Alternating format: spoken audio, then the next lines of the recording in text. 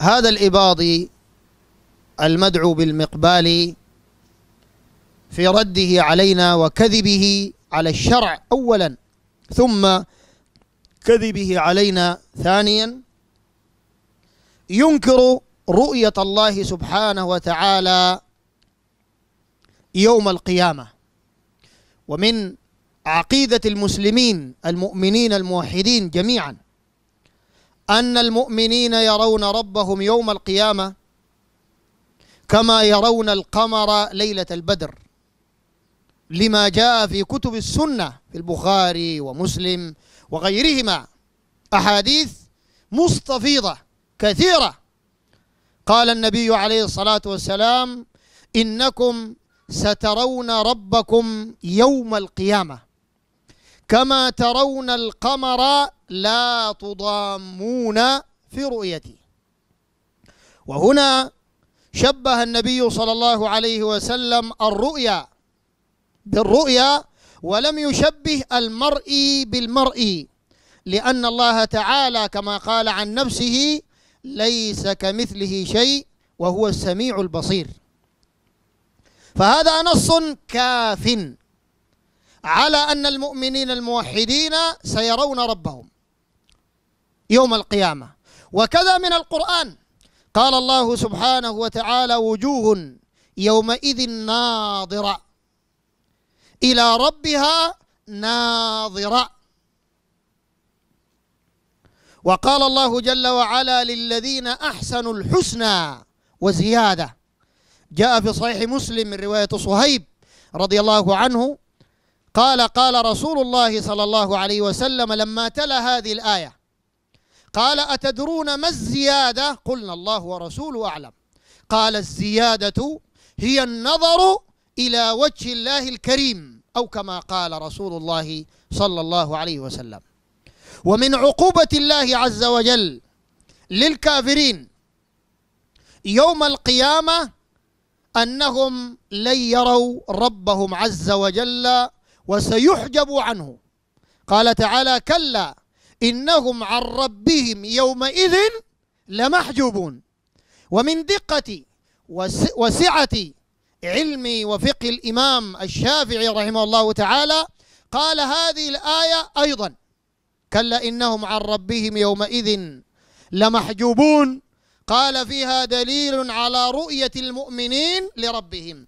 لأن الله تعالى عاقب الكافرين بأن حجبهم عن رؤيته يوم القيامة.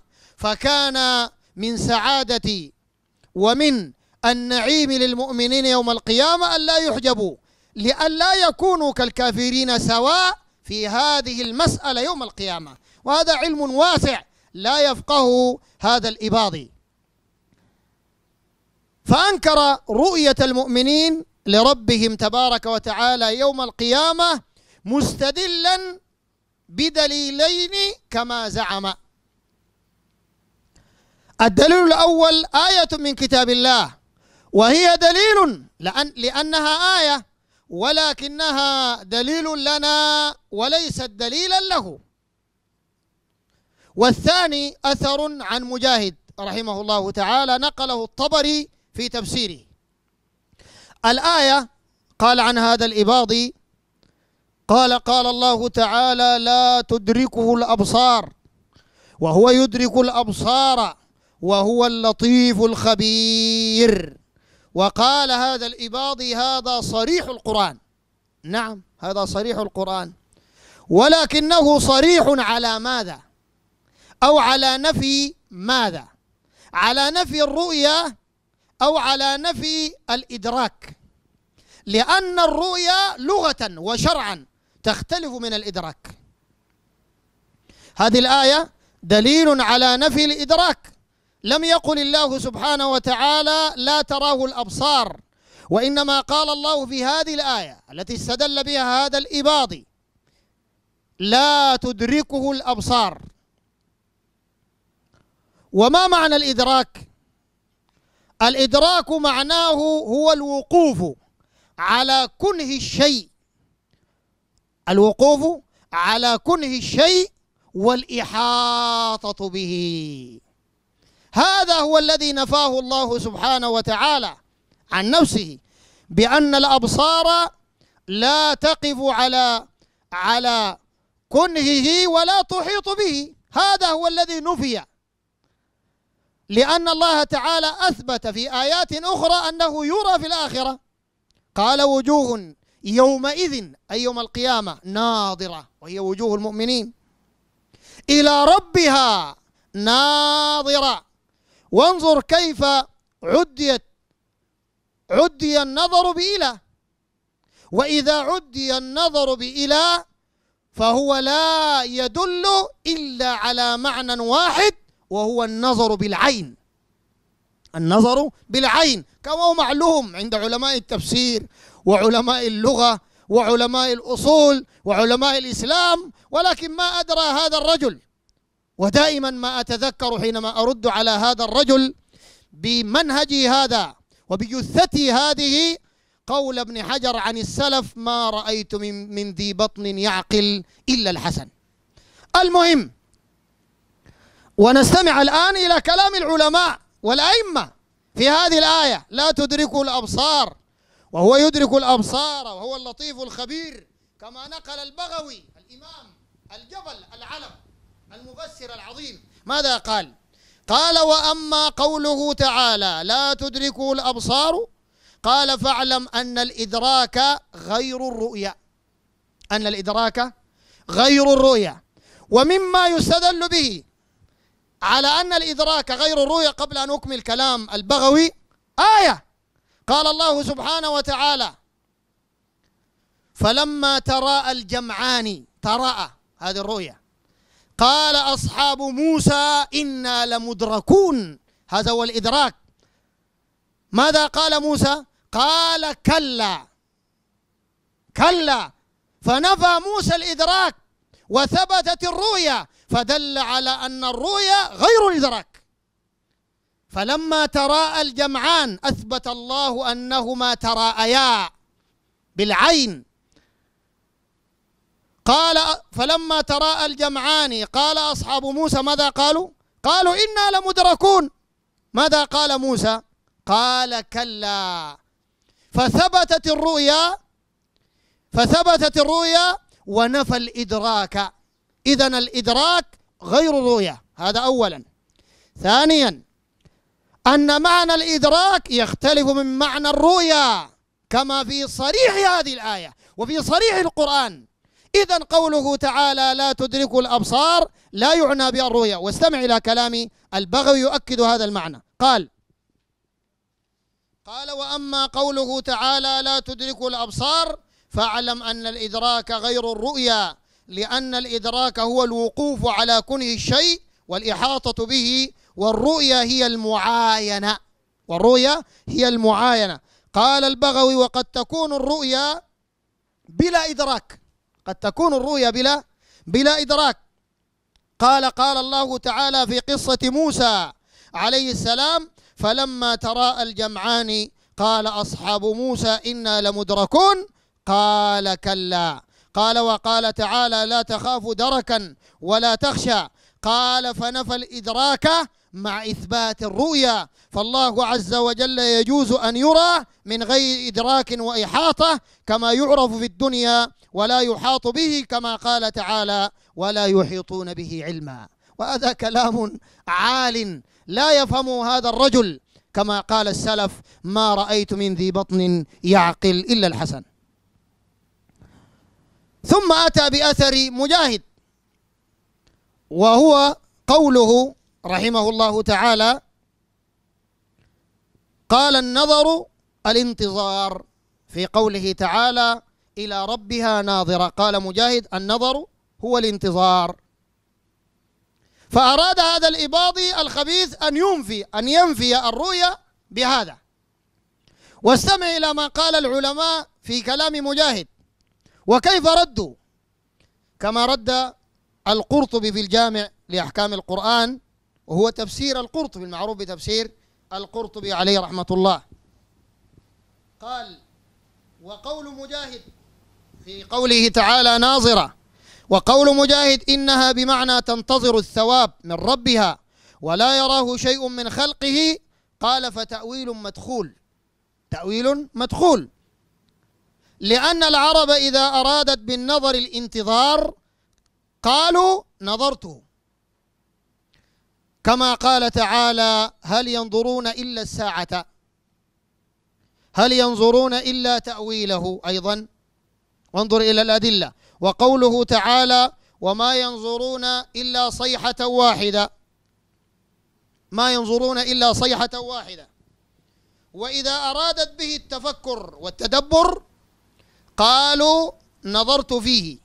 فأما إذا كان النظر مقرونا بذكر إلى كما في قوله تعالى إلى ربها ناظرة. وأما إذا كان النظر مقرونا بذكر إلى وذكر الوجه لأنه قال وجوه يومئذ ناظرة إلى ربها ناظرة. وذكر الوجه فلا يكون إلا بمعنى الرؤية والعيان. وقال الأزهري إن قول مجاهد تنتظر ثواب ربها خطأ لأنه لا يقال نظر إلى كذا بمعنى الانتظار.